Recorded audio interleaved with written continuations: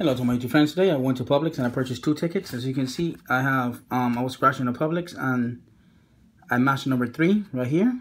And I matched a win. So just wanted to make sure that we knew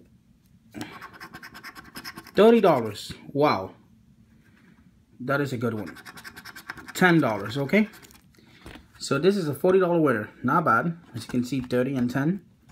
Also, I purchased one of these. As you can see, I have a single win, number 23 no other matches. So let's see how much is that. $30. Wow, back to back. This is good. So I have a $40 winner and a $30 winner. So that's $70. Double the profit. Thank you for watching.